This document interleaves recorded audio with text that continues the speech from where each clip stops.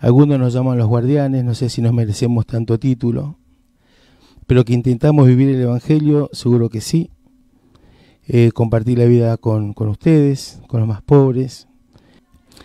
Y hoy sobre todas las cosas queremos pedirle a Jesús que, que nos dé la gracia de ser auténticos, ¿no? Y como el Padre Carlos, no tener miedo a levantar la voz cuando hay que reclamar justicia. No tener miedo de abrazar al pobre por más que, que nos cause asco. Abrazar su dolor, abrazar su herida, pelear por la comida, pelear por el trabajo, pelear por el techo, pelear por la tierra.